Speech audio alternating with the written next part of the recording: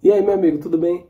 Você quer desenvolver esse projeto aqui de robótica com inteligência artificial seguindo a didática do livro que eu escrevi? Bem, se você quer desenvolver, existe um software de computador que você precisa instalar. Esse software é o aplicativo Fing. Você pode instalar no seu computador ou você também pode instalar no seu celular. Gustavo, o que é esse aplicativo? Basicamente, quando você faz a instalação do sistema operacional na Raspberry Pi, né, na verdade, no cartão de memória que vai no slot da Raspberry Pi, a Raspberry Pi vai se conectar na rede Wi-Fi que você colocou lá no cartão de memória, certo? Ótimo. Como é que você identifica o IP, o endereço da Raspberry Pi dentro daquela rede Wi-Fi? E agora?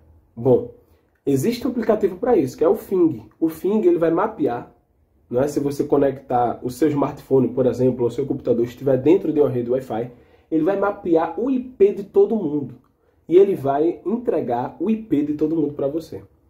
E lá no aplicativo vai aparecer, não é, a lista de dispositivos que estão na rede e vai aparecer também o nome da Raspberry Pi.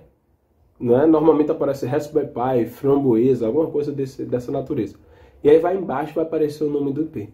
E aí você vai usar essa identificação, esse endereço IP, para colocar lá no software put, para que você possa fazer a, o acesso via terminal na sua, é, na sua Raspberry Pi, tá bom?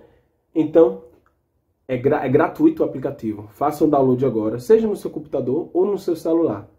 Mas faça o download agora, é gratuito, você não paga nada. Só precisa de internet, mas se você está me assistindo aqui, você já tem internet, beleza? Valeu e te espero no curso.